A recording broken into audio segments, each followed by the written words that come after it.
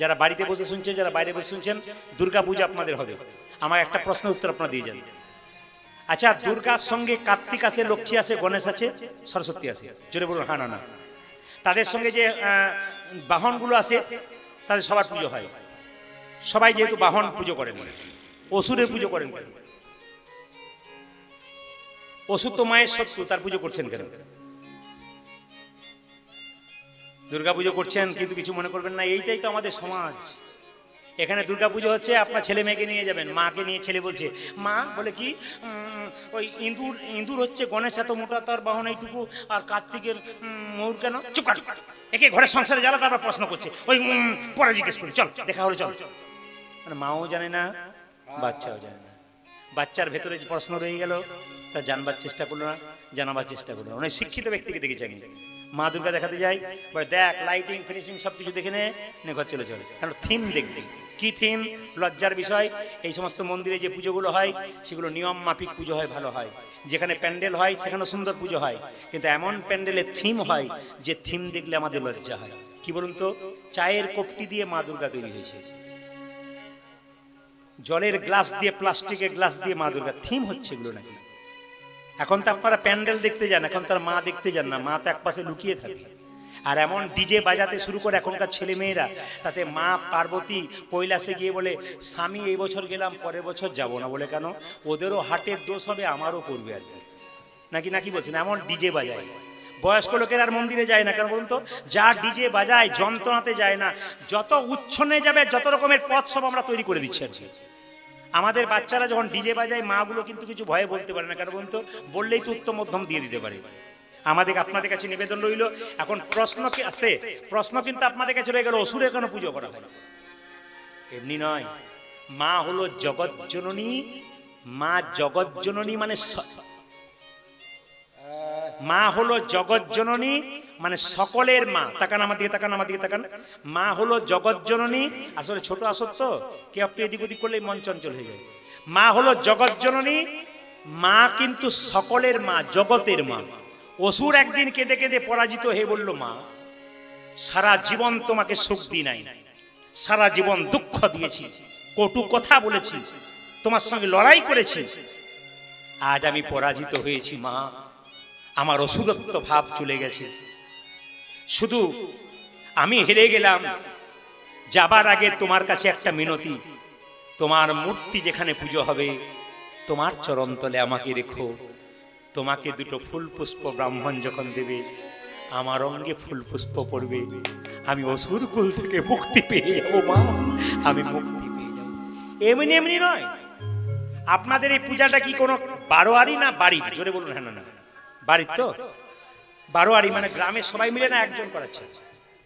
কয়েকজন বাড়ি মানে কিছু মনে করবেন না, আগে রাজা জমিদের বাড়িতে কিন্তু দেখবেন দুর্গা পুজো হতো। এতে কি হতো, পাড়ার লোকগুলা খুব একটা যেতে পারতো না, গ্রামের লোকরা কেন বলুন তো, ওদের উৎসব ওরাই নাচতো, ওরাই গাইতো, এগুলো হতো কিন্তু আগে।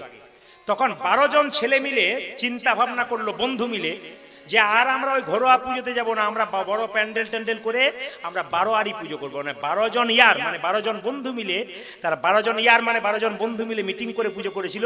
ওই জন্য পুজো পুজোটার নাম হলো বারো ইয়ারি পুজো তার সেখান থেকে হলো বারো আরি পুজো। খুব মাথায় রাখবেন, যে যেখানে বসে আছে আচ্ছা মায়েরা, দুর্গা পুজোতে বেশ্যালয়ের মাটি লাগে না? জোরে বলুন হ্যাঁ না না। বেশ্যালয়ের মাটি লাগে কেন? অনেক তত্ত্ব আছে, বলতে গিয়ে সারা রাত্রি পেরিয়ে যাবে। কিন্তু বেশি বলব না কেন, আবার পরে পরে আসবার চান্স থাকবে। না, কি বলছেন? তবে অনেকে বলে রেটের ব্যাপারে গন্ডগোল হয়, তাই আমরা আনতে পারি না। তো ঠিক আছে, সুযোগ যখন পেয়েছেন, তখন আমি আপনাদের বলে দিয়ে যাই যে বেশ্যার মাটি লাগে কেন বলুন তো? বেশ্যা মানে কিছু মনে করবেন না। মায়েরা, কোনো পুরুষ যখন বেশ্যালয়ে যায়, তখন তার সমস্ত পুণ্য ওই নারীর মধ্যে মিলিত হবার সময় দিয়ে চলে যায়। ওই মাটিটা পুণ্য হয়ে যায়। এই জন্যে পুণ্যের মাটি কিন্তু মায়ের শরীরে লাগে। জায়গাটা পুণ্য। কোনো পুরুষ যখন কোনো বেশ্যা নারীর সঙ্গে মিলিত হয়, তখন পুরুষের যত পুণ্য ছিল, সব পুণ্য কিন্তু তার ওই মাটিতে রয়ে যায়, ওই পুণ্যের মাটি লাগে। আর বেশ্যালয়ের মাটি লাগে অনেকগুলো কারণ আছে। একটা কারণ কি? সমাজের নিচু থেকে উঁচু স্তরে সবাই মায়ের। সবাই মায়ের জন্য আনন্দ করছে। বেশ্যালয়ের মাটি নিয়ে ওই মেয়েদেরকে আমিও ধন্য করলাম। এরা নিচু নয়, এরাও আমার। তাই বেশ্যালয়ের মাটি মা ব্যবহার। আর একটা কথা আপনাদের বলে দিয়ে যাই। এখানে শুনে নিন সবাই, মন্দিরে আপনারা প্রণাম করছেন, যারা প্রণাম করছেন, এখানেও প্রণাম করছেন, ওখানেও প্রণাম করছেন, অনেক ছেলে মেয়েরা কীর্তন শুনছেন। এখন জ্ঞানের কথা বলতে গেলে তারা নেবে না কেন বলুন তো? ইংরাজি পড়ছে, হিন্দি পড়ছে, বিজ্ঞান পড়ছে, এখন সব ওদিকে নজর নেই। কিন্তু কিছু মনে করবেন না, বয়স হলে ঠিক জায়গাতে পৌঁছাবে, কারণ আমার যখন ওরকম বয়স ছিল তখন আমিও বিশ্বাস করতে পারতাম না। কিন্তু এই জায়গাতে আসার পর থেকে এখন বুঝতে পেরেছি এটা কি জিনিস। আমি তো ইংরেজিতে এম করেছিলাম, বর্ধমান থেকে সাতজনের মধ্যে ছজন এখন শিক্ষক কেউ প্রফেসর হয়ে গেছে, কিন্তু আমি হতে পারিনি। না না আমিও হয়ে যেতাম, কিন্তু আমি হলাম না একটা কারণে। কেন বলুন তো? আমার বাবা বলেছিল, তোকে হতেই হবে। কিন্তু আমি মনে মনে ভেবেছিলাম, একটা স্কুল মাস্টার, একটা প্রফেসর, একটা এলাকার লোক চেনে, আমি হরিনাম গাইছি বলে কত ভক্তের চরম ধুলি মাথায় করছি কত আশীর্বাদ। এখন তারা আমাকে ফোন করে করে বলে, পরের জন্মে যেন তোর জায়গাতে যায় আমি বোম্বে গিয়েছিলাম, হায়দ্রাবাদ গিয়েছিলাম, ব্যাঙ্গালোর গিয়েছিলাম ত্রিপুরা তো যাই, আগামীতে বিদেশে পর্যন্ত যাব আপনাদের আশীর্বাদে, ভক্তের আহ্বানে প্রত্যেকটি জায়গাতে যাই, প্রচুর ভক্তের আগমন, প্রচুর সম্মান, এটা আপনারা আশীর্বাদ করবেন। সম্মানের দরকার নেই, যেন আমি কৃষ্ণ কথা হরিকথা মানুষের মধ্যে দিতে পারি, মানুষকে কিয়দ অংশ দিতে পারি। একটু শুনে নিন মায়েরা, আপনারা মন্দিরে প্রণাম করবেন, প্রণাম কিন্তু তিন প্রকার। একটা উত্তম প্রণাম, একটা মধ্যম প্রণাম, একটা অধম প্রণাম। উত্তম প্রণাম দু প্রকার। একটা পঞ্চাঙ্গে, একটা দণ্ডবাদ প্রণাম। তাকান আমার দিকে, গল্প নয়। শিখে যান, তাহলে আপনার কাজ আছে তাহলে এটাও বাদ চলে যাবে। কি বললাম? একটা পঞ্চাঙ্গে প্রণাম, একটা দণ্ডবত প্রণাম। এই দণ্ডবত প্রণাম কিন্তু ছেলেরা করবে। এই দণ্ডবাদ প্রণাম আপনারা করবেন, পুরুষ মানুষ করবে, লম্বা হয়ে পড়ে। কিন্তু মায়েরা করবে না। কেন বলুন তো? নিয়ম হচ্ছে, স্মৃতিশাস্ত্র বলল যে, যখনই পুরুষ প্রণাম করবে, তখন বুকের জামাটা খুলতে হয় পুরুষের। কেন? বুকের মাটিটা লাগবে ধুলোটা। এই জন্য। নারীদের সেটা সম্ভব নয়। তাই তারা পঞ্চাঙ্গে প্রণাম করবে। দুটো চরণ, দুটো হাত, একটা মাথা। এই পঞ্চাঙ্গ ঠিকবে। আর পুরুষ যখন লম্বা হয়ে প্রণাম করবে, তখন তার আটটা অঙ্গ ঠিকবে। দুটো হাত, দুটো পা, দুটো জানু, একটা বক্ষ, একটি মস্তক। এটা গেল উত্তম প্রণামের দুটো ভাগ। আর মধ্যম প্রণাম কোনটা? একটা হচ্ছে মধ্যম প্রণাম, হচ্ছে একটা নমস্কার করা। যেমন আপনি দূরে কাউকে দেখলেন মন্দিরে যাই না আমরা? কি করি? ছেলেকে বলি, প্রণাম কর, খোকা, প্রণাম কর। একটু প্রণাম করবেন এটা হচ্ছে মধ্যম প্রণাম। আবার দেখবেন মধ্যম প্রণাম একটা ভাব আছে, মানসিক প্রণাম, কীরকম? দেখলেন, দেখার পর আমাকে হরে কৃষ্ণ, জয় নিতাই। মানে কি? চোখটা মুজে দিলাম। এটা কে করেছিল? এটা করেছিল দক্ষরাজ প্রজাপতি, দক্ষরাজের জামাই। কি নাম? বাবা ভোলানাথ। একটা সভাতে যখন মিটিং মিটিং হচ্ছিল, সভা হচ্ছিল, তখন সবাই দক্ষরাজ যখন প্রবেশ করেছে, দক্ষ রাজা, তখন সবাই প্রণাম করেছে, কিন্তু শিব ধ্যানে ছিল তো, বুঝতে পারে না যখন দেখল তার শ্বশুরমশাই এসছে, তখন মানসিক প্রণাম মানে চোখ দুটো মুজে প্রণাম এটা হয় কিন্তু, মন্দিরে গেলেন, আপনাকে কেউ দেখতে পেল না, কিন্তু আমি চোখ দুটো মুজলেন, এটা কিন্তু প্রণাম হয়। আপনি এমনি করে কাউকে প্রণাম, মনে মনে ভাবছেন, কেউ যদি দেখতে পায় কি ভাববে, আপনি চুপচাপ যাবেন মাথাটা নিচু করলেন চোখ দুটো মুছে দিলেন। এটা হচ্ছে মানসিক প্রণাম। এটা কে করেছিল? বাবা ভোলানাথ করেছিল। কাকে? তার শ্বশুর মশাই প্রজাপতি দক্ষরাজকে। এখন লক্ষ্য করুন একটা জায়গায় বলি। অধম প্রণাম কোনটা বলুন তো? অধম প্রণাম হচ্ছে এক হাতে প্রণাম। আবার দেখবেন অনেকে স্কিন টাচ প্রণাম। মানে স্কিন টাচ মানে বুঝতে পারছেন? এরকম করে নিল, এরকম করে দিল। এটা স্কিন টাচ প্রণাম। আবার দেখবেন অনেকে প্রণাম করে, অনেক একটি বৌমা সেই দিন দেখছি তার শ্বশুর মশাইকে প্রণাম করছে, জিন্সের প্যান্ট পরে পা পর্যন্ত যেতে পারে না হা- এই পর্যন্ত প্রণাম করেছে। শ্বশুর মশাই বলছে, কেন? তোমার কি মাথা নিচু হচ্ছে না, পা নিচু হচ্ছে না? বাবা, জিন্সের প্যান্ট পঁচিশ জায়গায় ফাটা, যদি গুঁড়ি হতে যায় আরও ফেটে যায়। ওই জন্য জিন্সের প্যান্ট পরে এখন আর প্রণাম করতে পারছে না। স্কিন টাচ এটা অধম প্রণাম। সবাই জেনে রাখুন শাস্ত্র পরিষ্কার করে বর্ণন করেছে কি? এক হাতে কেউ যদি প্রণাম করে, সারা জীবনের পুণ্যতার নষ্ট হয়। ওই জন্য আপনার ছেলেকে আপনারা সবাই প্রণাম শিখবেন দুই হাতে। ভগবানের মন্দিরে, দেবতার মন্দিরে প্রদীপ দেবেন। পিতলের প্রদীপ, কাঁসার প্রদীপ, আর কিসের প্রদীপ? মাটির প্রদীপ। কোথায় দেবেন? ঘিয়ের প্রদীপ দেবেন দেবতা এবং ভগবানের বাঁ দিকে আর তিল বা তেলের প্রদীপ দেবেন ভগবান এবং দেবতার ডান দিকে। কেন ঘিয়ে প্রদীপ কেন দেবেন? আগুন জ্বালাচ্ছেন কেন? অগ্নি সাক্ষী করে কোনো কাজ করলে সেই কাজটা মঙ্গল হয়। তার প্রমাণ কি? বিয়ের সময় অগ্নি সাক্ষী করে আমাদের বিবাহ হয়। ও সূর্য নারায়ণের আরেকটা রূপ হচ্ছে অগ্নি। অগ্নিকে হিন্দু শাস্ত্রে দেবতা বলে গ্রহণ করা হয়। এই জন্য অগ্নি সাক্ষী করে কাজ করতে হয়। এই সুন্দর সুন্দর তত্ত্ব আপনাদের কাছে আছে। মাংসর দোকান খুলেছে, এখন আবার আপনাদের এলাকার নয়, আমাদের দিকে লিখেছে শ্রীকৃষ্ণ বয়লার সেন্টার।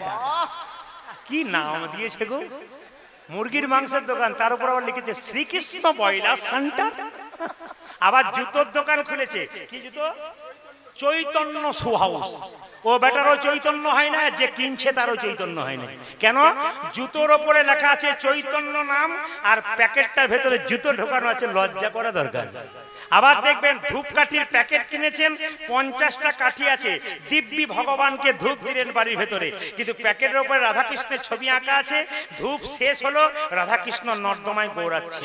তাহলে একদিকে রাধাকৃষ্ণকে ভেতরে পুজো করছেন, একদিকে নর্দমায় ফেলছেন। আপনার জিরো ব্যালেন্স ব্যালেন্স কিন্তু কিছু রইল না। একদিকে জল হচ্ছেন, একদিকে জল ছাড়ছেন। আমার দিকে তাকাবেন যে যেখানে বসে আছেন। আবার দেখবেন আমরা সব বাজার থেকে যাই, প্যান্ট শার্ট পরে বাড়ি যাই, আর দেখবেন ক্যালেন্ডারটা টাঙানো আছে গণেশের কিংবা কৃষ্ণের। আমরা ওই জলুইটাতে বা প্যারাকটাতে কি করি? প্যান্টটাকে টাঙিয়ে দিলাম, প্যান্টের পাটা বাজারে ঘষাঘষি করে এসছে, কত নোংরাতে। ভগবান শ্রীকৃষ্ণের মুখে লেগে আছে। একবারও কিন্তু আমাদের বিচার হলো না যে প্যান্টটা আমি ওখানে রাখব না, যেখানে ভগবানের ছবি আছে। এগুলো আপনাদের মাথায় রাখতে হবে। আবার দেখবেন রাধাকৃষ্ণ বস্তালয় নাম দিয়েছে, খুব ভালো কথা। কিন্তু ওর ওপরে রাধাকৃষ্ণের ছবি আছে। প্যাকেটটা থেকে কাপড়টা বার করে নিলেন, জামাটা বের করে নিলেন বাস গুটি করে নিতাই গোর হরিবল করে দিলেন। যারা এইসব করছে, প্যাকেটের মধ্যে রাধাকৃষ্ণ দিচ্ছে, তারা ভালো করছে। তাদের কাছে অনুরোধ করব, আপনারা ভালো করছেন কিন্তু আমরা ভালো রাখতে পারছি না। তাই বারবার বলব, এসব কিছু করবেন না। আপনি নিতাই গৌরের ছবি, কৃষ্ণের ছবি প্যাকেটের ওপরে দেবেন না। আপনি ধূপকাঠির প্যাকেটের উপরে দেবেন না কেন? আমরা মান সম্মান রাখতে পারছি না। কাজের তাগিদে। আপনি ফুলের ছবি দিন, গাছের ছবি দিন, তাহলে পারা যায়। কিন্তু ভগবানের ছবি দেবেন না। আবার দেখবেন বিরাট ঝড় এসছে বাদল এসছে। দেখুন ভগবান শ্রীকৃষ্ণের মূর্তিটা ঘরের ভিতরে কি যত্ন করে রেখেছেন দরজা বন্ধ করে দিলেন ঝড় এসছে জানলা বন্ধ করে দিলেন যেন একটু ঝড় গোবিন্দের গায়ে না লাগে। কিন্তু দরজা ঢুকতেই বাইরে কৃষ্ণের ছবিটা আপনি দিয়ে বসে আছেন। আপনি দিব্যি ঘরের ভেতরে ঝড় ঝঞ্ঝা রক্ষা থেকে বেঁচে আছেন আর যত পাথর কাদা বালি সব কৃষ্ণের ছবিটাতেই লাগে আমরা একদিকে বাড়িতে কৃষ্ণকে রক্ষা করছি, একদিকে কৃষ্ণকে নিতাই গোল করছি। এগুলো বিচার করবেন তবে জীবন সুন্দর হবে, শুধু কীর্তন শুনলে হবে না। এর থেকে একটা শিক্ষামূলক গল্প আপনাদের বলে যাই। মন দিয়ে শুনবেন যে যেখানে বসে আছেন, একবারে ভাগবতীয় গল্প, বৈষ্ণব মহাজন বসে আছেন। আপনারা শুনবেন, আপনারা ভক্ত মানুষ, শুনে নেবেন। ভগবানের কোনো কথায় অবিশ্বাস করবেন না। অনেকে দেখবেন বলে আমাদের পুরুষ মানুষ অনেকে বলে ভগবান আমাকে খেতে দেয় নাকি? ভগবানের নাম করব? আমি খাটি আমি খাই। আমাকে ভগবান খেতে দেয় না অনেকের বক্তব্য এরকম থাকে। জগন্নাথ মিশ্র নামে একজন বিখ্যাত ভক্ত ছিল বাবা। সবাই তাকে জানে। তিনি কিন্তু প্রত্যেকদিন কৃষ্ণ ভজন করতেন। একদিন শাস্ত্র পড়তে গিয়ে দেখতে পেলেন লেখা আছে শাস্ত্রে একটা শ্লোক অনন্য চিন্তামান পর্যপাশুতে মায়েরা যোগক্ষেম মহাম্মা একটা শ্লোক আছে শেষ কথা হচ্ছে যোগক্ষাম বাহাম্মাহাম যোগক্ষেম বাহাম্মান মানে কি? ভগবান ভক্তের বোঝা বইতে পারে। যদি বিশ্বাস আপনাদের থাকে যে যেখানে বসে আছেন মন দিয়ে শুনবেন ভগবান ভক্তের বোঝা বইতে পারে যোগক্ষেম বাহাম্মাহাম অনন্যশ্চিন্তমাং যে জনা পর্যুপাসতে। তেসাং নিত্য বিযুক্তনাং জগক্ষেম বাহাম্মাহাম শ্লোক সবাই তাকাবেন মায়েরা। এখন বারবার দেখছে, এই শ্লোকে লেখা আছে, ভগবান ভক্তের বোঝা বইতে পারে না পারে না না পারে না। জগন্নাথ মিশ্র ভাবছে, না পারে না না পারে না। সে কি করেছে? একটা লাল কালিতে ওই শ্লোকটা লম্বা করে কেটে দিয়েছে। মায়েরা, শ্লোকের উপর কেউ যদি আঘাত করে সং ভগবানের অঙ্গে আঘাত করা হয়। সবাই তাকানো জগন্নাথ মিশ্রের নিয়ম ছিল, প্রতি বাড়ি বাড়ি ভিক্ষা করে যেটুকু হতো গোবিন্দ সেবায় দিত, তারপর নিজের সেবা করত।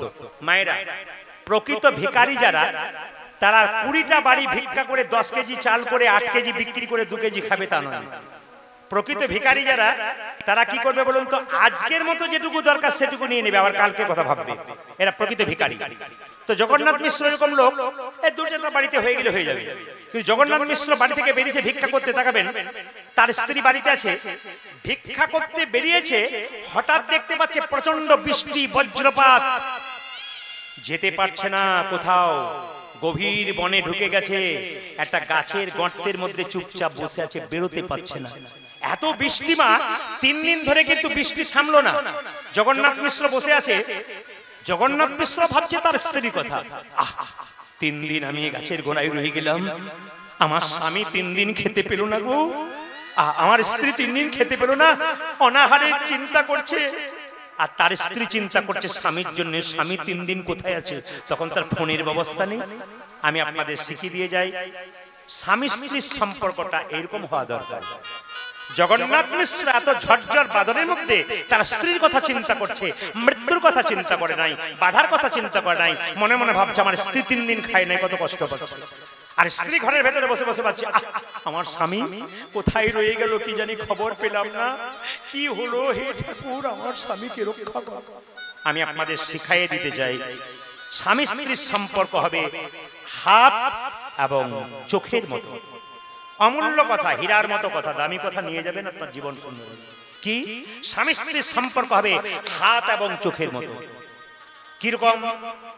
চোখ কাঁদলে হাত ব্যথা পাবে আর হাত ব্যথা পেলে চোখ কাঁদবে।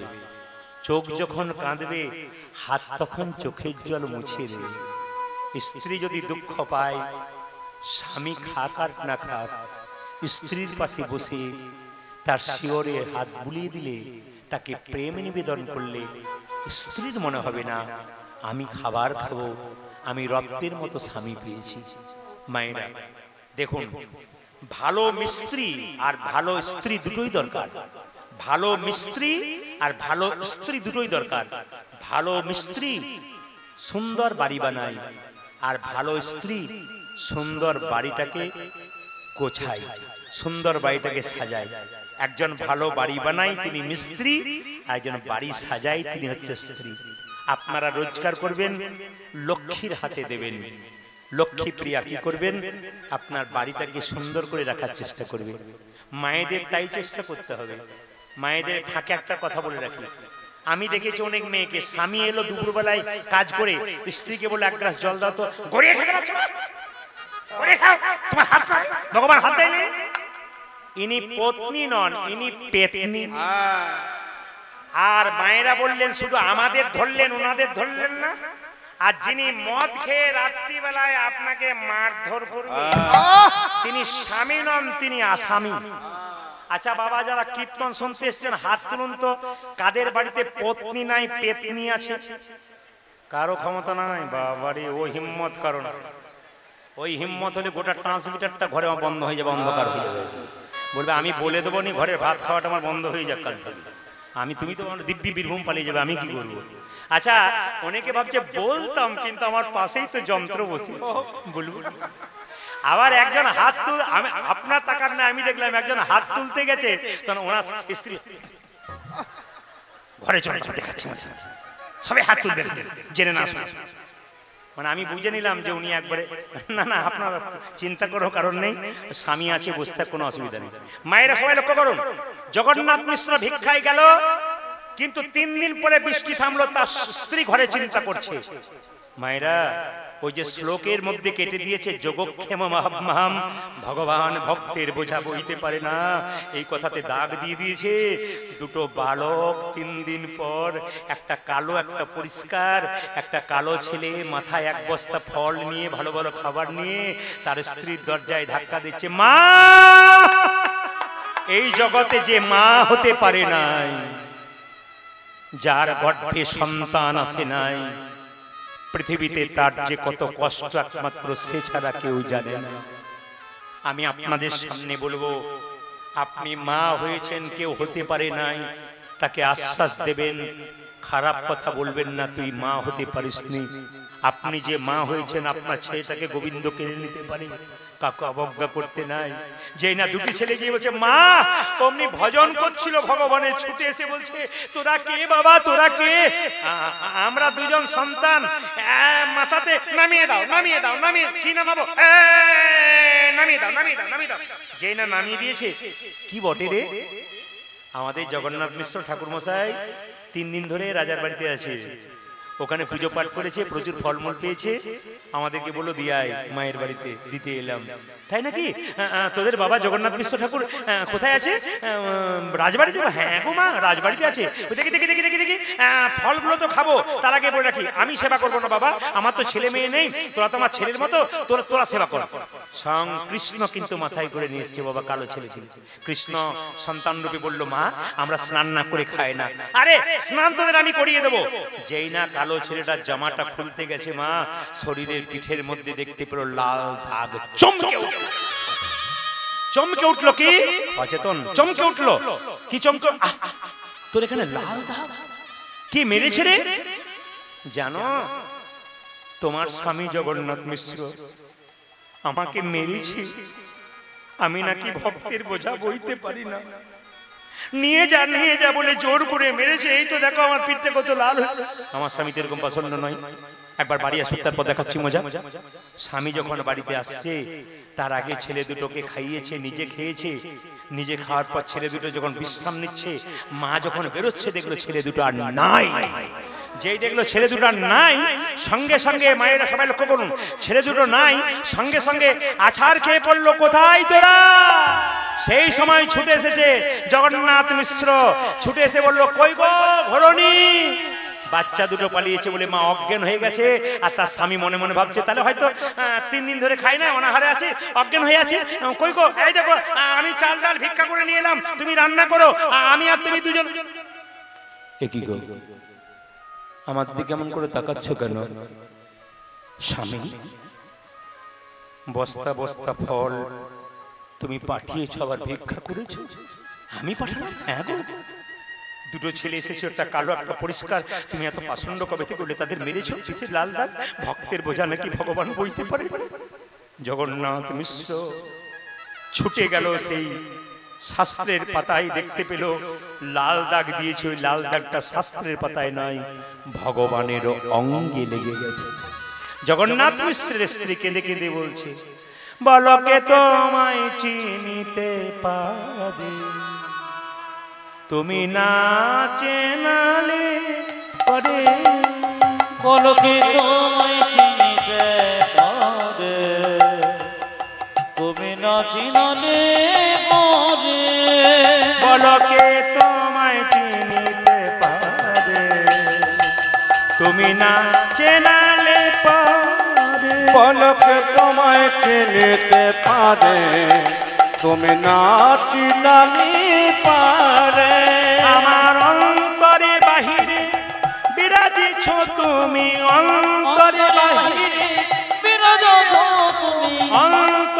বাহিরে বিরাজিছ তুমি অন্তরে বাইরে বিরাজিত তুমি কে তোমায় চিনিতে পারে?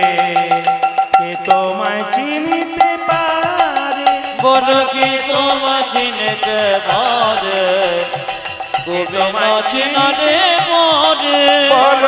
তোমায় চিনিতে পারে?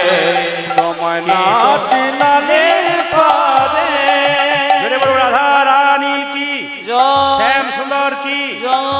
মদন কি? সবাই মিলে মাথায় কাপড়টা নিন। করজোরে ভগবান শ্রীকৃষ্ণ কালিয়নাকে দমন করতে যাবে। তার আগে বলে রাখি আপনাদেরকে দেখুন মা যশোদাকে প্রণাম করলেন স্বয়ং ভগবান প্রণাম করে চললেন গোষ্ঠে কেন? কালিয়নাগকে দমন করার জন্য। আমি আপনাদের বলব যে কোনো কার্য সিদ্ধি হোক আর না হোক সবার কাছে নিবেদন রইল। আপনি একটা কাজ করবেন। কি কাজ করবেন? সকালবেলায় ঘুম থেকে উঠে বাবা মাকে প্রণাম করবেন। যদি জীবিত থাকে অবশ্যই করবেন। যদি মৃত তার দরজাতে আহা দেওয়ালের ছবিটা টাঙানো আছে আপনি অবশ্যই প্রণাম করবেন। প্রণাম করে যাবেন একটা ফুলের মালা দেবেন। আমি আপনাদের বলতে চাই অনেকে দেখবেন সকালবেলায় কুকুর নিয়ে ঘোরে। তো অনেকে বলে প্রদীপবাবু আমি আপনি আমাদের বিরুদ্ধে বলেন কেন? কুকুর নিয়ে ঘুরি বলি? আমি আপনাদের বিরুদ্ধে বলি না। জীবে প্রেম করে যেই জন সেই জন সেবিছে ঈশ্বর খুব ভালো কথা আপনি কুকুর সেবা করুন। কিন্তু কুকুরটাকে সকালবেলায় ঘর থেকে বেরোনোর আগে বিবেকটাকে প্রশ্ন করুন। মা বাবা এক কাপ চা পেয়েছি কিনা জিজ্ঞেস করেছিলেন কিনা আর দ্বিতীয় হচ্ছে আপনি ভগবানের মন্দিরে সকালে একবার গেলেন কিনা? এই দুটো প্রশ্ন করে তারপর কুকুর নিয়ে যান। তবে আপনার কাজ নইলে কিন্তু আপনার কাজ নাই। তবে অনেক মেয়েরা বলে যে আমার ছেলে বড় হলো আমাকে খেতে দেবে কিনা সন্দেহ। কিন্তু আপনাদের বলে দিয়ে যাই একবারে বাস্তব কথা আপনার ছেলে যে আপনাকে খেতে দেবে না তার তার সিগন্যাল কিন্তু আগে থেকে দিয়েছে। একবার প্রদীপবাবুর কাছে দেখে নিন। আমি যদি মিথ্যা বলছি প্রতিবাদ করবেন সত্য বললে স্বীকার করবেন। সবাই তাকান আমার দিকে। ছেলে যে আপনাকে খেতে দেবে না এই যে ছেলে যে আপনাকে খেতে দেবে না তার প্রমাণ দেখুন। আপনার বাচ্চাকে কোলে নিয়ে যখন নাচান তখন বাচ্চার পাটা দোলে বেশি না মাথা দোলে? জোরে বলুন। পা দোলে। দেখবেন ছেলেকে কোলে নিয়ে মা থাকে, খোকা তুই বড় হবি হব মা। দেখবেন সবাই লক্ষ্য করবেন? দেখবেন মাথা দোলে না কিন্তু? ইশারার মাধ্যমে, খোকা তুই বড় হবি হব মা। দেখবেন পা লড়বে এ খোকা তুই পড়াশোনা করবি, করব মা। দেখবেন লড়বে এ খোকা তুই চাকরি করবি, করব মা। খোকা তুই বিয়ে করবি, ওটা বলতে হবে না। খোকা, তুই বড় হবি, আমি বুড়ো হব, তখন আমাকে দেখবি, বলে, ওটি হবে না। ছেলে কিন্তু সিগন্যাল দিয়ে ওই জন্য চিন্তা নেই সিগন্যালটা ভেঙে যাবে, যদি কৃষ্ণ ভক্ত করতে পারেন। বাহ বাহ। এই যে খাটালি দেখছেন না, এই পরিশ্রম কিন্তু প্রত্যেকটি আসরে। কেন বলুন তো, আপনারা এসেছেন, লাফাঝাপা একটু করতে হয়, আপনারা একটু মন দিয়ে শুনেন তবে আপনাদের আসলে একটা ভালো জিনিস দেখলাম, এখানে কোনো মাতাল নাই। আপনাদের হাসিতেই বুঝতে পেরেছি পার্টি আছে। তবে আপনাদের আছে কিন্তু গোপনে আছে। আমি পাশে একটা জায়গায় এসেছিলাম, নাম করব না, এখান থেকে সতেরো কিলোমিটার দূরে। পাশে আমি এসেছিলাম একটা গ্রামে, এখানে সতেরো সে তো গানই করতে দেয়নি। এত মাতালের জোর কমিটি পর্যন্ত বন্ধ করতে পারছে না। মাতাল বলছে চলবে মা বাবা মেদিনীপুরে এত জায়গায় গান করেছে, এমন পার্টি পায় নাই। আজকে এসে দেখলাম না, খুব ভালো। তবে কিছু মনে করবেন না, মাতাল যে নাই, সব জায়গাতে আছে। কারণ আমি কিন্তু দেবুবাবু, তারপর সুদীপ্ত, আরও অনেকে আছে যারা আমি নামগুলো মনে নেই। তো সবাইকে যখন ফোন করছিলাম, আমি চলে আসছি বাজারের দিকে। বাজার ঢুকেছি, রেল স্টেশনের কাছে গাড়িটা দাঁড় করেছি। এ ট্রেন পেরোচ্ছে, হঠাৎ একজন আমাকে বলছে, আপনি প্রদীপ বাবু না? আমি বললাম বাবারে পার্টি এখানেও আছে? আজকে আপনার এখানে গান আছে না? হ্যাঁ আছে। আমি তো যাব। আমরা আপনি কি সকাল থেকে শুরু করে দেন? বলে সারাদিন চলে। রাত্রে তো চলবে। আমার দাদা কিছু মনে করবেন না। এবার গাড়ি ছাড়ছে এবার আমাকে ছেড়ে দিন। বলে আমি মাতাল হতে পারি কিন্তু আমি কবিতা লিখি। বলে এইদিকে আপনাদের চন্দ্রকোনা রোডে এমন মাতাল আছে যে কবিতা লেখে আমাকে কবিতা শোনাচ্ছে। বললাম কি কবিতা লেখেন? বলছে শুনে রাখুন কবিতা কি লিখছে? বলছে আপেলে। পোকা দুধে চমকে যাবে ছেলে আপেলে পোকা, দুধে জল, আর বিড়িতে শক্তি আর মদে করোনার সাম করোনার সময় লোক ঘর থেকে বেরোতে পারছে না, আর মদের লাইনে ভিড় দেখলে মাথা খারাপ হয়ে যাচ্ছে। একজনেরও করোনা হয়নি। একজন আমি দেখাতে পারবেন একজনেরও হয়নি। মানে খাচ্ছি মদ, করোনা কোন দিকে চলে যাবে? আমাদের এলাকাতে দেখতে পেয়েছিলাম, আমি তো ভয়ে বেরোতে পারছি না। বাজার যদি বা কোনো মাস্ক নিয়ে যাচ্ছি, তো দু চারটা পার্টি বাজে প্রদীপ মাস্ক খুলে দিন, আমাদের মাস্ক নাই, লাইনে দাঁড়িয়ে আছি, নিয়ে নো ব্যাস। কোথায়? হাওয়া দিয়ে দেবো। এখন যাক ভালো আছে। তবে কিছু মনে করবেন না বাবা? এইদিকে একটা মাতালদের একটা জায়গায় সম্মান করি। কোথায় বলুন তো? আলু পেঁয়াজের দাম বেড়েছে বলে রাস্তাতে কি বলে। দাম বেড়েছে দাম কমাতে হবে। কমাতে হবে। কিন্তু মদের দাম দিনের পর দিন বেড়েছে কোনো ধর্ম ঘটনায় কিচ্ছু নাই। দিব্যি দেখবেন ঝোপে ঝোপে টিং টিং করে লাইট জ্বলছে। চুপচাপ ভদ্রলোকের মতো যাচ্ছে খাচ্ছে চলে আসছে। পাকা মাতাল। তো ওই রেল স্টেশনে মাতালটা দাঁড়িয়ে বলছে, এই যে দেখান, মাতালটা দাঁড়িয়ে বলছে, আমি কবিতা লিখি কি? আপেলে পোকা, দুধে জল, বিড়িতে শক্তি মদে বল। আমরা আপনি কি খান? বলছে জেডি। বলছে প্রদীপ বাবু আপনি তো কীর্তন করেন অনেক লোককে বোঝান একটি কবিতা আপনাকে বলতে হবে। আমার কবিতা আমার মাথায় নাই। এখন দুপুরবেলা স্নান করতে হবে খেতে হবে। তুমি ছেড়ে দাও। বলে না আপনাকে ছাড়বো না। সে তো ছাড়ে না। নিয়ে বললাম "আহ, কি করতে হবে? বলছে এক লাইনও কবিতা বললাম। আমি বললাম শোনো তাহলে এক লাইন কবিতা বলে দিই। বলে কি খাবে জেডি ফুলবে বডি শ্মশান তোমার জন্য রেডি ঠিক বলি নাই? এই সময় হর্ন দিয়ে দিয়েছে বলে শুনতে পারলেন না। কি বলছে? খাবে যেটি ফুলবে বডি শ্মশান তোমার জন্য রেডি ও বলছে আগামী কীর্তন শুনতে যাব না। কিন্তু উনি এসেছেন নমস্কার আপনাকে ধন্যবাদ জানাই যে আপনি এসেছেন। উনি হাত ইশারা করে দিয়েছেন যে পার্টি আমি দাঁড়িয়ে আছি। যতই আমার নামে বদনাম করুন আসবোই আমি। যাকে আপনাকে ধন্যবাদ জানাই আপনার গুরু কৃপা হোক। সবাই মিলে রাধা রানী কি? শ্যাম সুন্দর কি? মদন মোহন কি? হরিবাসর কি? সাধু গুরু বৈষ্ণব কি? হাততালি দিয়ে একবার। হাতে করো কামার মুখে বলো হরি। মানব জন্ম তোমার যাইবে গোত্রে। হাতে কলো কান আরে মুখে বলো হরি মানব জনম তোমার যাইবে হাতে করো কামার মুখে বলো হরি মানব জনম তোমার যাইবে ওজা যে হাতে কর কামার মুখে বল হরি মানব জনম তোমার যাইবে গোতরে এই দিকে তাকাবেন। ভগবানের ভজন কীভাবে করবেন? সবাই শুনে রাখুন, সংসারে থেকে ভগবানকে ভজন করবেন। ঘর বাড়ি ত্যাগ করে বলে কৃষ্ণ হরে হরে। তুমি দিয়ে যাই বৃন্দাবন, বাড়ি ছেড়ে তো চলে গেছে ঘর যে তার মনে আছে। এই ত্যাগে পাওয়া যায় না শ্রীনন্দের নন্দন আপনি সংসার ছেড়ে ট্রেন ধরে যাচ্ছেন বৃন্দাবনে। মাঝ রাস্তায় মনে পড়ে গেল মেয়েটার বিয়ে হয় নাই, ছেলেটার চাকরি হয় নাই। এরকম কিছু চিন্তা যার আছে সে ভগবান পাবে না। কে ভগবান পাবে? পাকা নামাজ পাকে থাকে। তুলে দেখো পাকা নামাজকে। বড় হয়েছে সে পাখি, কিন্তু পাকাল মাছের গায়ে, কোনো পাকের দাগ লাগে নাই। একটি পাঁচ কেজি পাকালো মাছ জলের ভেতরে আছে, পাক খেয়ে বড় হয়েছে। কিন্তু তুলে দেখুন পাকের দাগ নাই। যারা ভক্ত পাকালো মাছ সংসার পাকের মধ্যে ডুবে থাকে। হরি কথা কৃষ্ণ কথা বলে, তাদের শরীরে দুঃখের ছাপ থাকে না, সদা আনন্দময় হয়ে থাকে। আবার কি বলছে? পদ্ম পাতা জলে ভাসে, যখনই বর্ষা আসে, বর্ষার জল লাগে পদ্ম পাতার গায়ে। তুলে দেখো পাতাখানা, পদ্মের গায়ে দাগ লাগে না। এরকম যদি ত্যাগী হওয়া যায়, ভগবান শ্রীকৃষ্ণের চরণ পাওয়া যায়, সংসারে ভগবানকে পাওয়া যায়, সংসারে বাইরে পাওয়া যায় না, প্রমাণটা কি? একদিন নারদ মুনি ভগবানকে বললেন, প্রভু, তোমার সবচাইতে বড় ভক্তকে?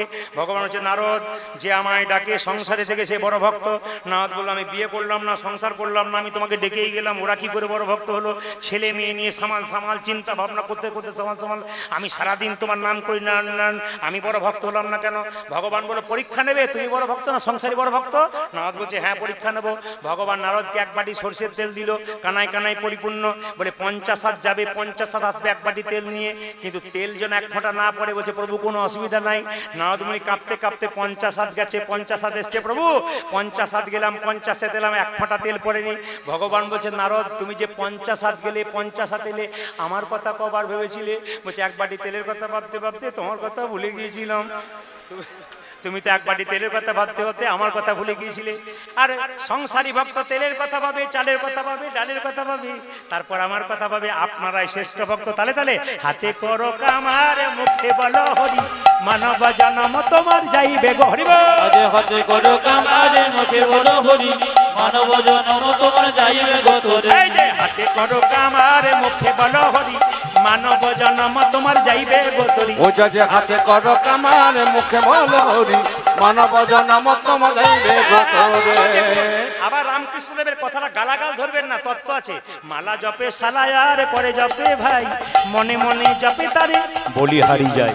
মালা জপে সোনা করে জপে ভাই মনে মনে জপে তারি বলে হরি জয় হ্যাঁ হ্যাঁ মালা জপে সালায়ার করে জপে ভাই মনে মনে জপে তারে বলি হারি যায়। মালা জপে সানায়ারে করে জপে ভাই মনে মনে জপে তারে বলি হারি যায়। ভাইরা মালা জপে সালা তালবসাকার লেখা সালা মানে কে?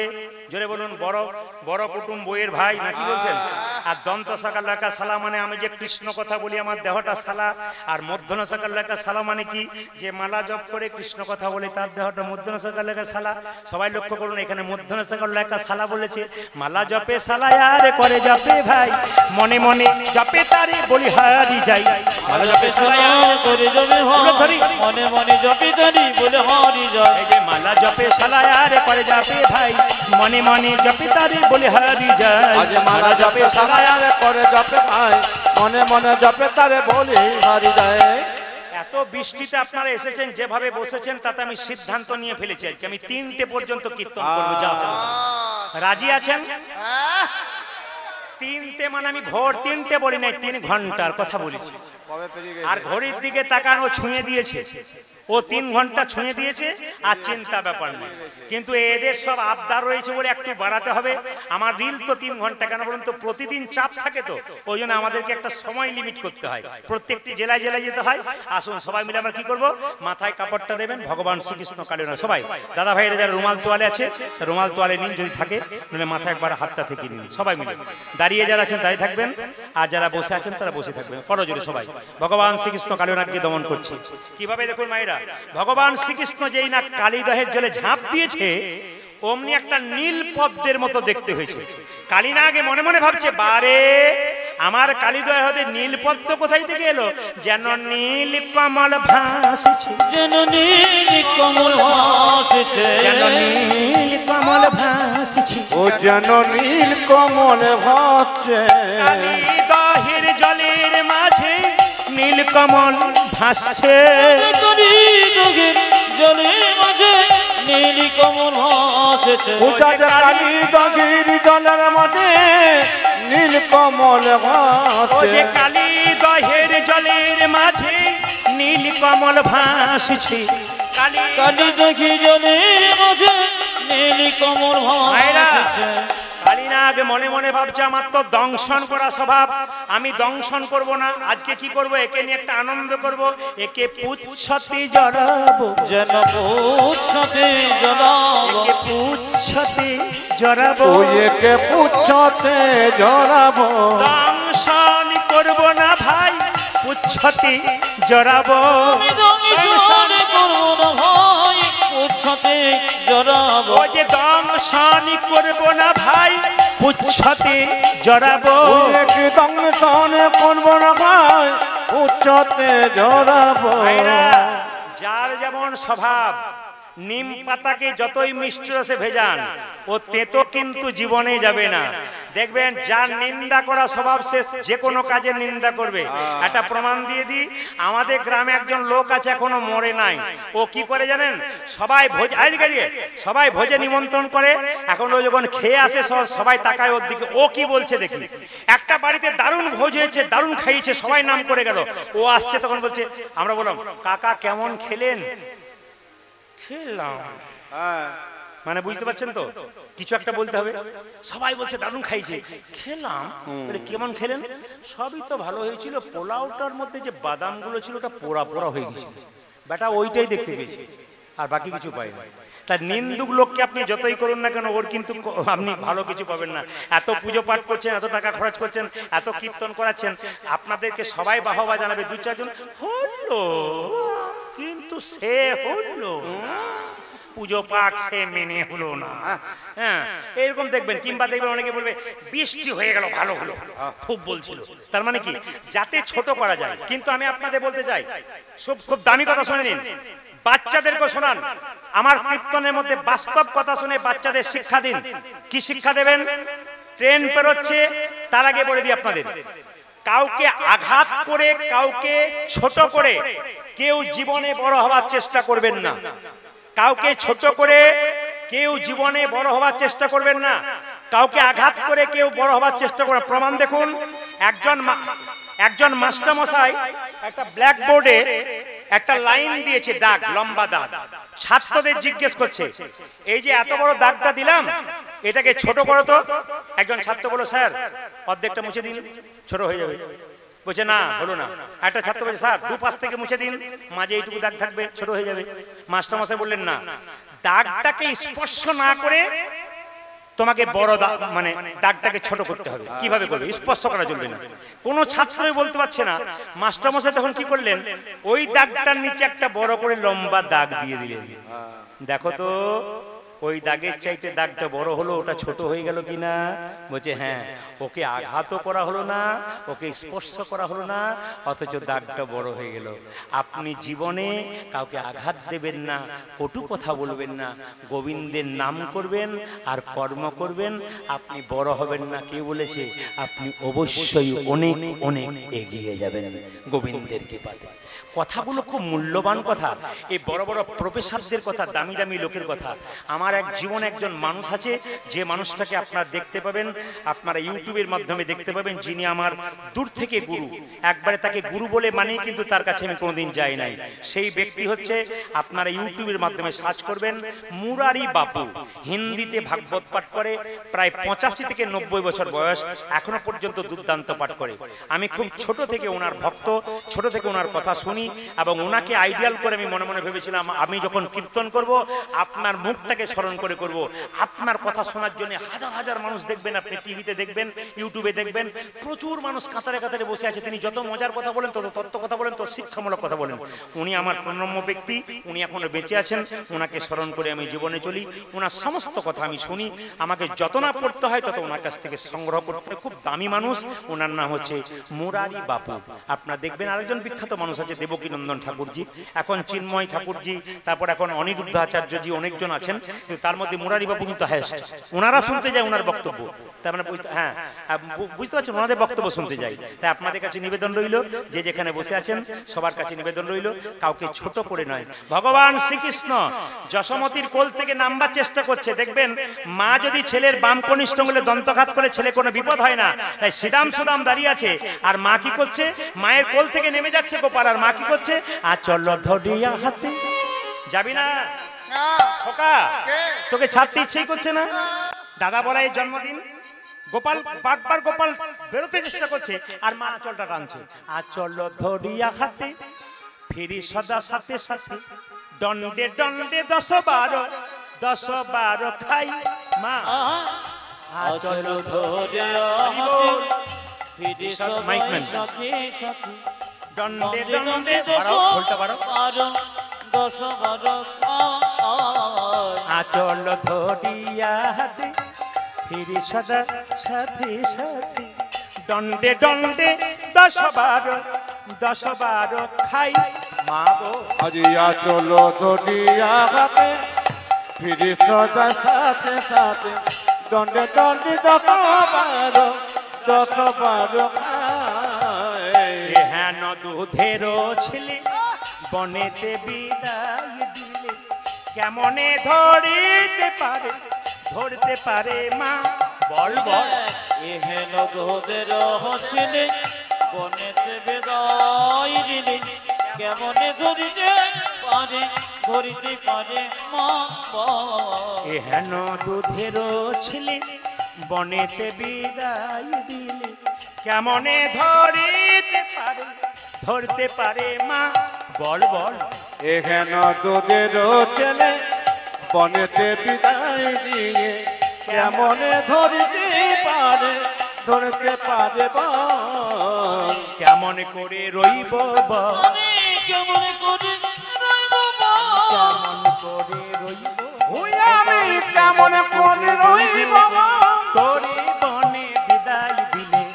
কেমন করে রইব ওই দেখি তোরে মনে হৃদয় দিয়ে কেমন করে রইব আমি তোরে বনে বিদায় দিলে কেমন করে রইব ওই আমি তোরে মনে বেদায় দে কেমন করে রইব বেশ ভগবান শ্রীকৃষ্ণ মাকে প্রণাম করে যাচ্ছেন আর সুবল জিজ্ঞেস করছে হারে কানায় আজ কোথায় যাবি? দাদা বলায়ের জন্মদিন ঘরে রইলি না কোথায় যাবি? কৃষ্ণ বলছে শোন আমি কোথায় যাব জানিস? ওরে শনি রে সুবল মনের কথা। কালী দহদ রয়েছে যথা। রে মনের কথা। কালী আগে রয়েছে যথা। শনিরে সুবল মনের কথা।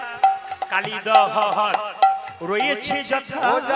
শোনে প্রবল মনের কথা কাজে জগৎ রয়েছে ব্যক্তি বলেছিলেন যে মেদিনীপুরের মানুষ কৃষ্ণলীলা গান শুনতে পারে না, তারা নাকি ভক্তলীলা শোনে।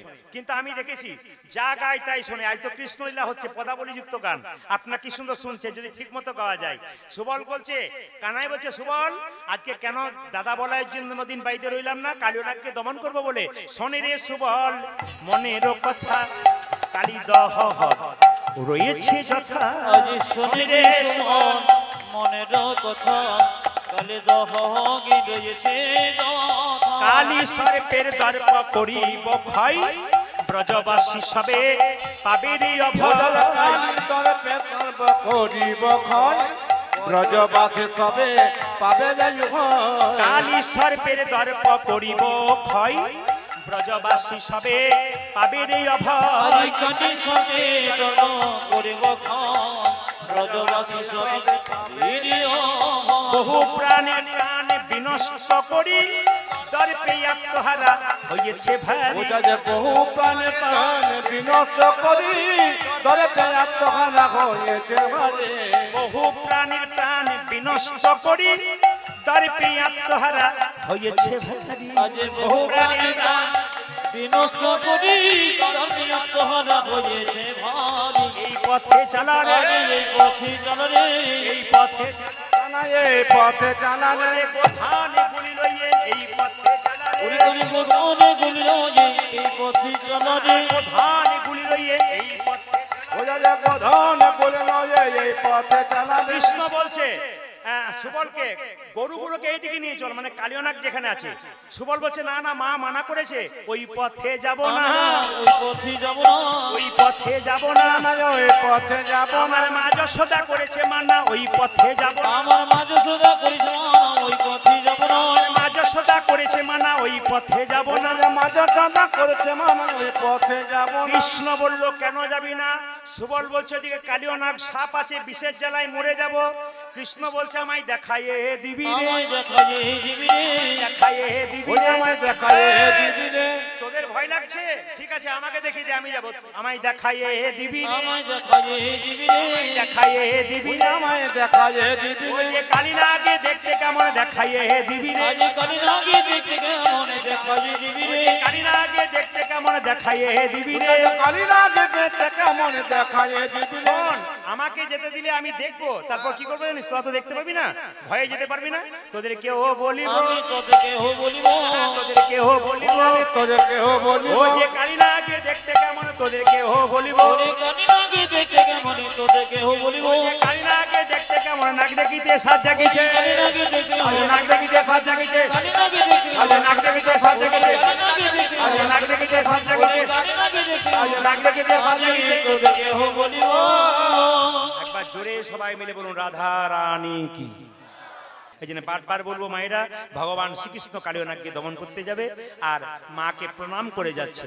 এই জন্য আপনাদের কাছে নিবেদন রইল, সবাই মিলে একটা ভজনের মাধ্যমে চলুন, আমরা কালিয়নাগকে দমন করব। সবাই কাভিরাম মানিকা সবাই, হাত তুলে, একসঙ্গে, সুন্দর করে গণেশজির কাছে, একসঙ্গে, ভগবান বিভিন্ন রূপে আসে হাত তুলুন, তালি তালি মারফত। সবাই একসঙ্গে।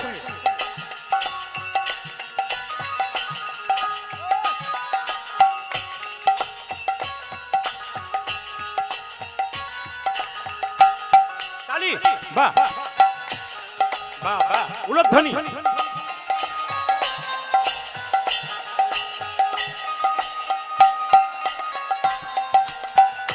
হাততালি বাহ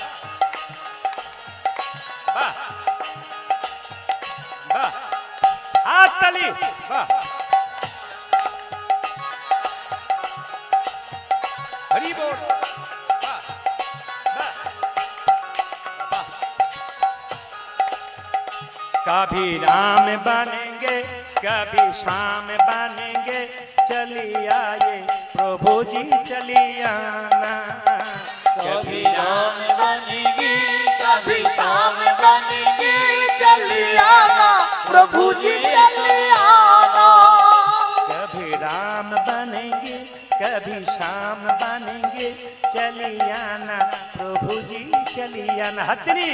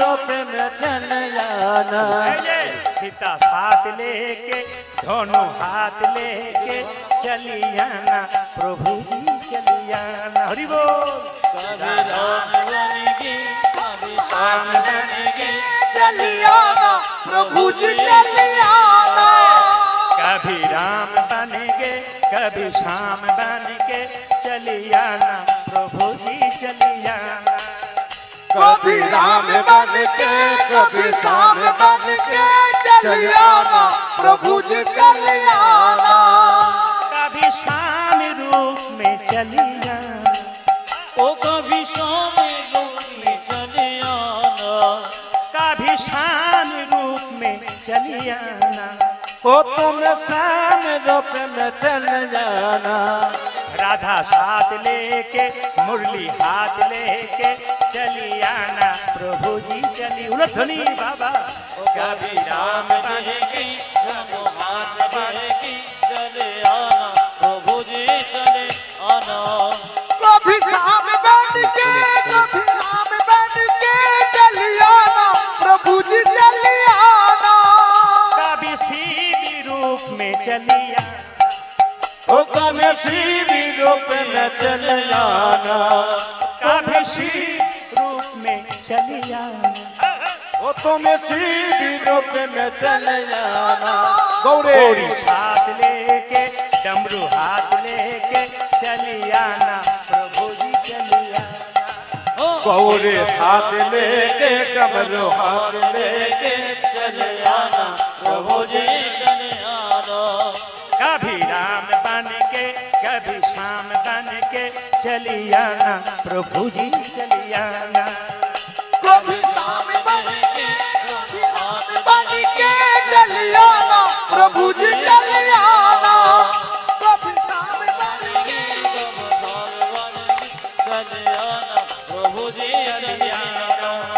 चल आना प्रभु जी चल आना चल आना प्रभु जी चल आना चल आना प्रभु जी चल आना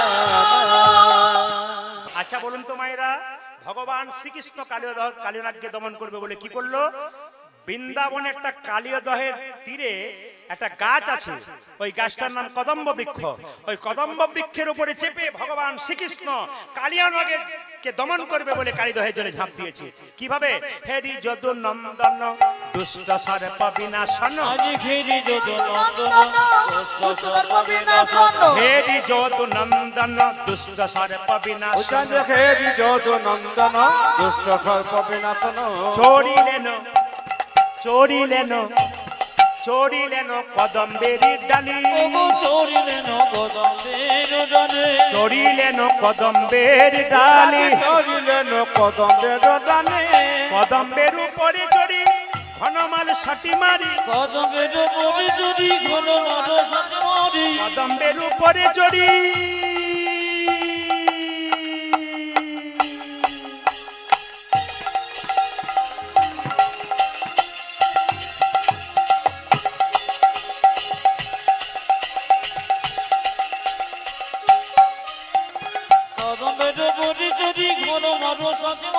কদম্বের উপরে চড়ি ঘনমাল সাটি আজ মারি কদম্বে উপরে চড়ি ঘন মন ছাটা মারি। ঝাঁপি দিলেন ঝাঁপি দিলেন ঝাঁপি দিলেন কালী দহ জলে। ঝাঁপি দিলেন কালে দহ জলে। ঝাঁপি দিলেন কালী দহ জলে। না দিলেন কালে দেহ জলে। কারও দর্প রাখে না কারও দর্প রাখি না রে। কারও দর্প রাখে না রে কারও দর্প রাখি না রে দর্প হারি প্রাণ গোবিন্দ কারও দর্প রাখে না রে। দর্প হরি প্রাণ গোবিন্দ কারও দর্প রাখি না রে। দর্প হারি প্রাণ গোবিন্দ কারও দর্প রাখে না রে। দর্প খানি প্রাণ গোবিন্দ কারও দর্প রাখে না রে ঝাঁপি দিলেন ঝাঁপি দিলেন। ঝাঁপি দিলেন কালী দহ জলে কানা ঝাঁপে দিলেন কালে জলে ভগবান শ্রীকৃষ্ণ কি? ভগবান শ্রীকৃষ্ণ কি? ছেলে বিপদে পড়লে সব চাইতে আগে জানতে পারে কে? জোরে বলুন। একসঙ্গে একই রব উঠবে। জোরে বলুন। মায়েরা যশমতী চিন্তা করছে আজকে ছেলে এলো না কেন? সকালবেলায় গোচারণে গেছে। দাদা বলায়ের জন্মদিন এত লোক খাচ্ছে। আমার ছেলে নাই। আকাশে কালো মেঘ, বৃষ্টি হচ্ছে। কিন্তু পাথর বৃষ্টি নয়, শিলা বৃষ্টি নয়। আজকে সর্প বৃষ্টি হচ্ছে। কালী পথে পথে সাপ দেখা যাচ্ছে কেন? সাপেদের রাজা কালিয়নাগ কৃষ্ণ দমন করবে বলে। সাপের যারা শিষ্য, তারা কুণ্ডলী আকার করে বিষ উদ্গার করছে মাটিতে পড়ে। যশোমতী মা চিন্তা করছে। তখন যশোমতী যত গপ গপি বিচার করে যে মনে।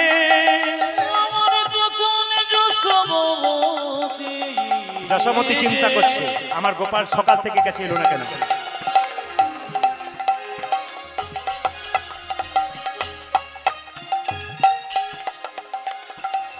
যত গোপ গোপ বিচার করি রে মনে। তখন যশোমতী যত গপ গপি বিচার করে যে মনে তখন যশমতী যত গপ গপি বিচার করিলে মনে।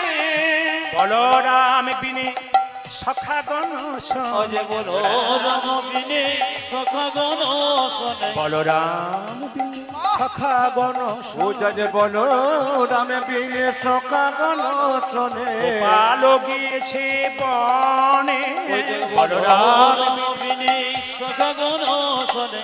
গোপাল গিয়েছে মায়েরা ভোরের স্বপ্ন সত্যি হয় যশোমতী স্বপ্ন দেখেছে তার ছেলেকে সাপে ধরেছে। রোহিণীকে বলছে দিদি আমি স্বপ্ন দেখলাম। বলে কি? যশোমতী কহে দারুণ স্বপ্ন। দেখেছি রজনী শেষে।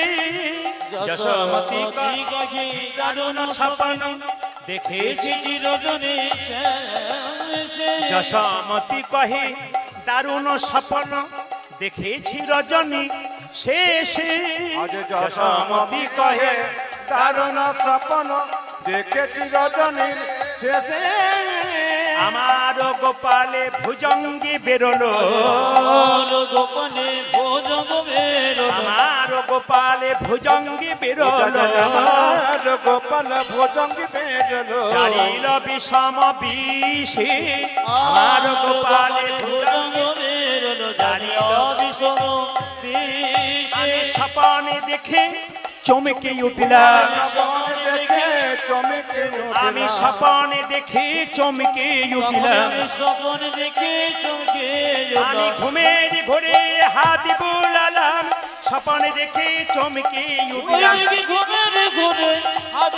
আমি স্বপনে দেখে চমকে আমি স্বপ্নে দেখে স্বপ্নে দেখে চমকে আমি স্বপ্নে দেখে চমকে মায়েরা এই যে তাকান যশোমতী বলছে অন্যদিন নবনীতে আসে সুবলা এলো না কেন? যশ আহা ননিনীতে কেন সীতাময় এলো না? সময় হইল গত। ননিনীতে কেন সীতাময় এলো না? সময় হইল কত ননিনীতে কেন সীতাময় এলো না? সময় হইল গত। ননিনীতে ননীতে কেন সীতাময় এলো না? সময় হইল প্রকাশিয়া বল ইহা নয় ভাই প্রকাশিয়া বলো ইহা নয় ভালো প্রকাশিয়া বলো ইহা নয় আজ প্রকাশিয়া বল কি নয় বলো। মুখে উঠে কত শত প্রকাশিয়া বলো ইহা নয় ভালো মনে উঠে কত আমি স্বপন দেখি চমকে উঠিলাম। আমি। স্বপন দেখি চমকে উঠিলাম। আমি স্বপ্ন দেখে চমকে আমি ঘুমের ঘরে হাত বুলালাম। স্বপন দেখি চমকে উঠলাম। ঘরে আমি স্বপন দেখে স্বপ্ন দেখে চমকে দেখে।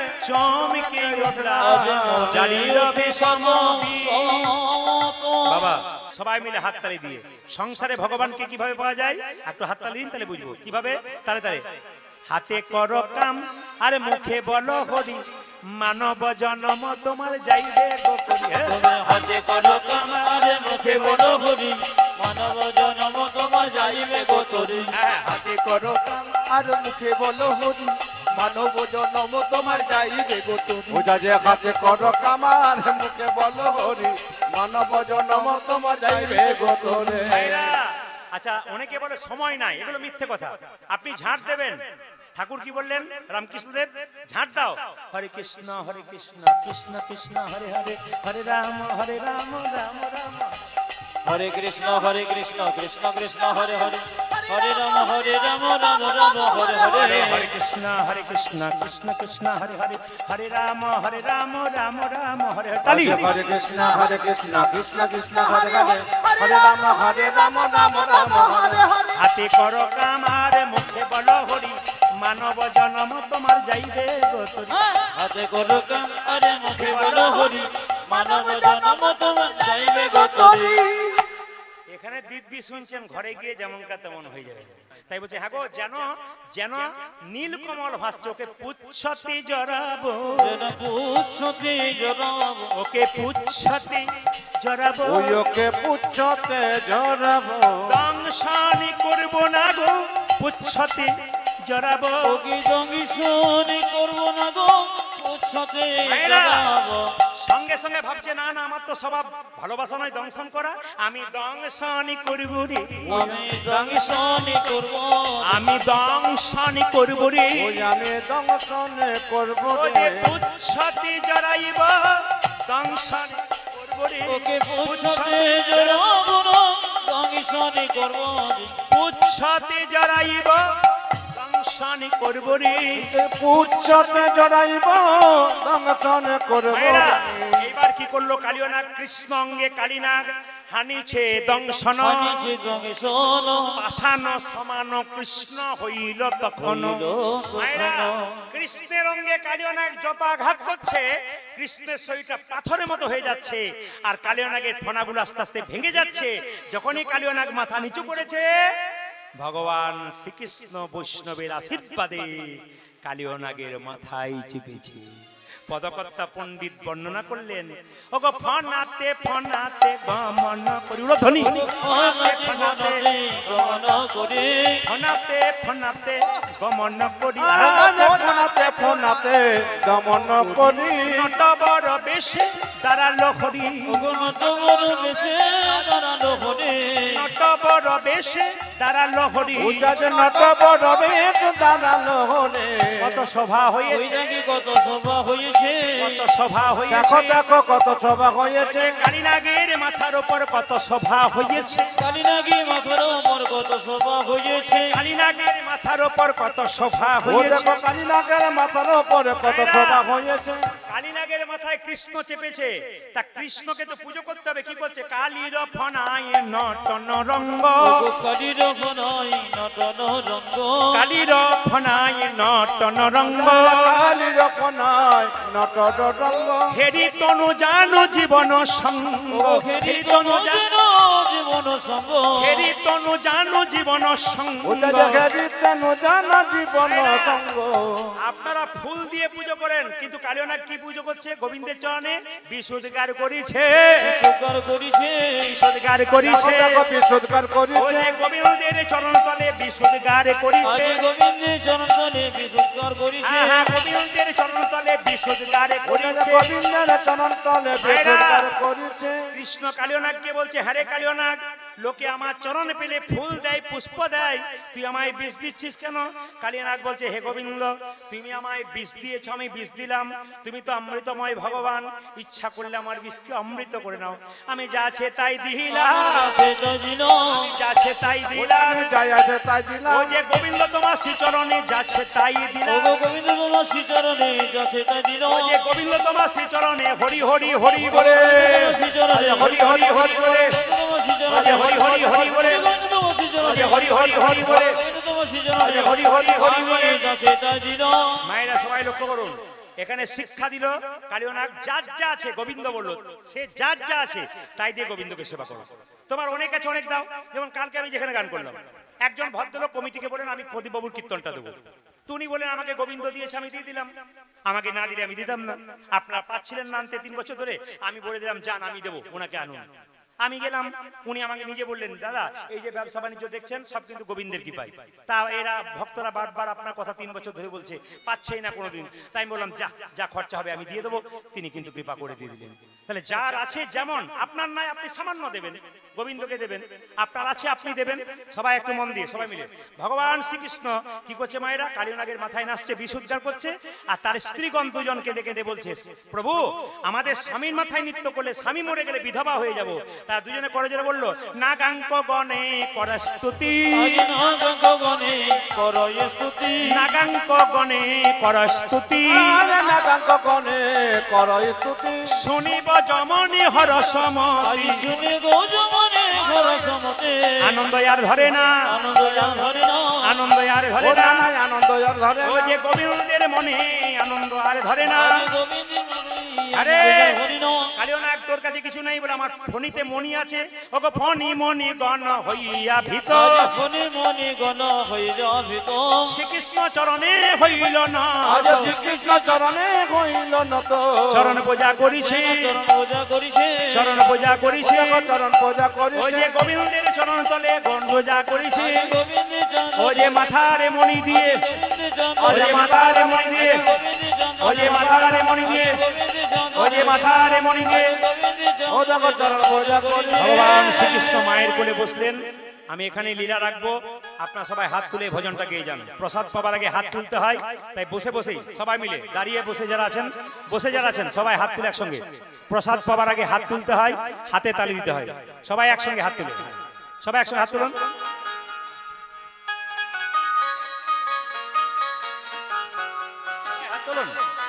হাত তুলুন। এখন কেউ প্রণাম করবেন না, আমি প্রণাম নেব। একটু দেরি হবে। আপনারা সবাই হাত তুলুন। যে যেখানে বসে আছেন, আর নিজের জায়গা ছাড়বেন না।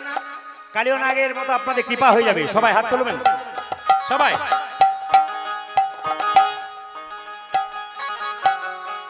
সবাই। সবাই। তালি।